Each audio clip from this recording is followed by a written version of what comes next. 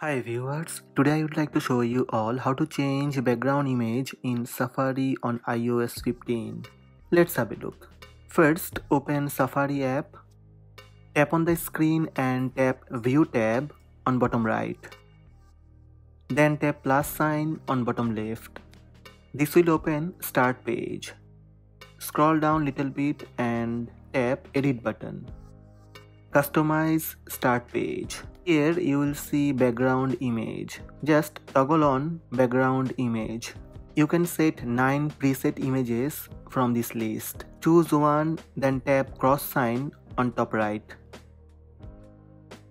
Start page background image changed. Again tap edit button and choose another image. Background image changed. If you would like to add any image from photo gallery, tap plus sign then choose your photo.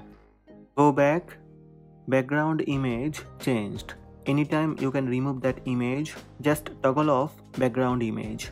So these are the steps to customize start page background image in Safari on iOS 15. Hope this video help you. Please subscribe my channel by tap subscribe button.